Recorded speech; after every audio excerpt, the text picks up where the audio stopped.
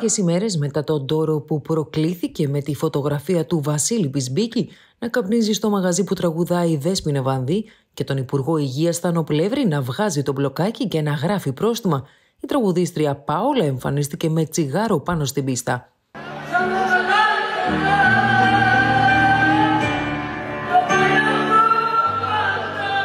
Στο βίντεο που έχει γίνει viral φαίνεται να κρατάει ένα αναμένο τσιγάρο χωρίς ωστόσο να το καπνίζει και να ερμηνεύει τη γνωστή επιτυχία «Το παλιό μου παλτό».